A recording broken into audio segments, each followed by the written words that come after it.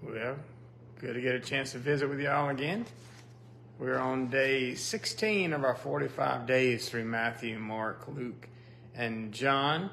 Uh, managed to find myself in the house by the fire this morning. A little bit chilly here, but that's all right. It's a good time to catch up on our reading. Um, if you've got the book God with Us, we're in pages 79 to 81. Um, if you're following on your readings, I put in the comments here the, the actual sections of Matthew, Mark, and Luke that we're in today. But in this reading, what stood out to me specifically was the story of the healing of the centurion's servant. You know that story where he had, um, came to Jesus and said, Look, my, my servant is sick. Could you heal him? And he's like, Look, you're not worthy to come to my house, Jesus. Just say the word and he'll be healed. And it's a wonderful story about the uh, about the compassion and the authority of Christ.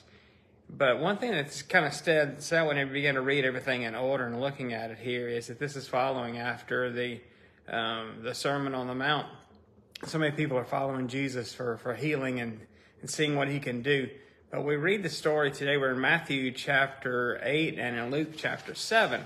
And if you look in there on the story, there's a little bit of a difference. One says that the centurion came to Jesus, and the other tells that the centurion sent his servants to Jesus, and that all the correspondence back and forth between the centurion and Jesus were done through his through his servants or through his friends, and one says through some of the Jewish elders actually.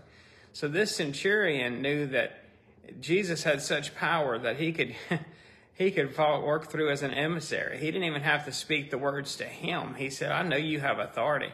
The centurion says at one point, if I tell my men to do this, they do that. And he knew that Jesus had all power and all authority.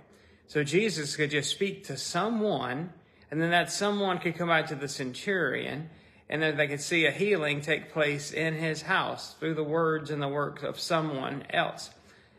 Jesus was able to use uh, emissaries, if you would, and the centurion realized how that worked.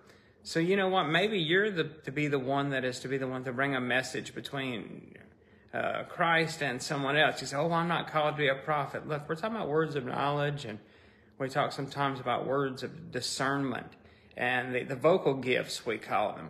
But a lot of times, what you can bring to someone is a good word and a good season. You can bring to them scripture and say, "Look, you know, I was reading this and I thought about you.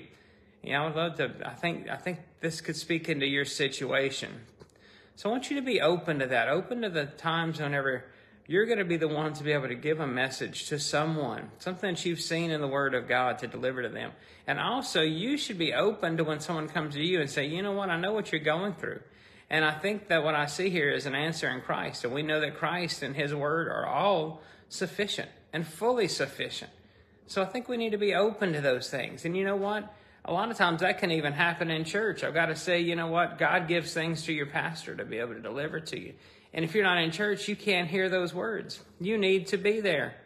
You know what? We say, well, I don't need to go to church. Well, you know what? Maybe somebody else needs you to go to church. Maybe they need you to be the one to be able to, to, to, to speak into their situation. Don't just think about ourselves, think about others.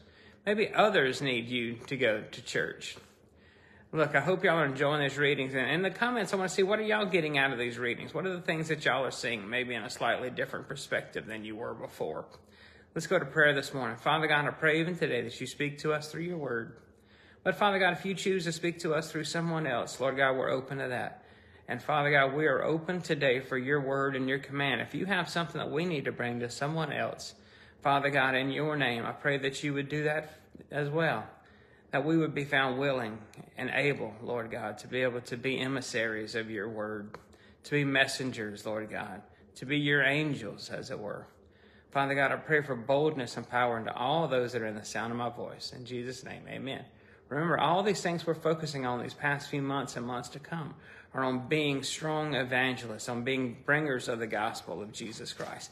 Look, you know God loves you. I hope you know by now that I love you. Let's go out there and make sure someone knows that you love them as well, all right? Y'all have a great, wonderful, and blessed day.